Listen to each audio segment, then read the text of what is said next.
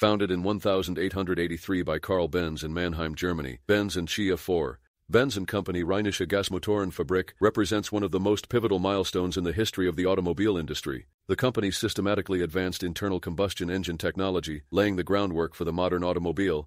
Benz's engineering vision combined with industrial production generated a revolution both mechanically and socio-economically.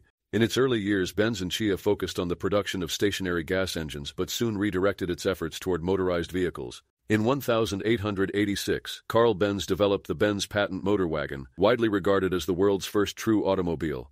This vehicle, featuring a single-cylinder four-stroke engine and a lightweight chassis, was a groundbreaking engineering achievement. The technical success of the patent motor wagon paved the way for the industrialization of individual transportation. By the 1890s, Benz and Cie had become Germany's largest automobile manufacturer, and its products enjoyed considerable prestige across Europe. The company's vehicles were showcased through endurance races and long-distance trials, demonstrating both technological reliability and commercial potential. The growing industrial competition and increasing demands for production scale in the early 20th century eventually led to the 1926 merger with Daimler Motorengesellschaft, DMG.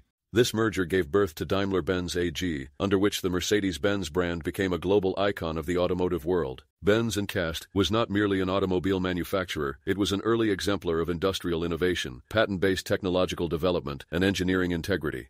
The company's legacy endures as a historical model illustrating how individual creativity and industrial collaboration can jointly drive technological progress.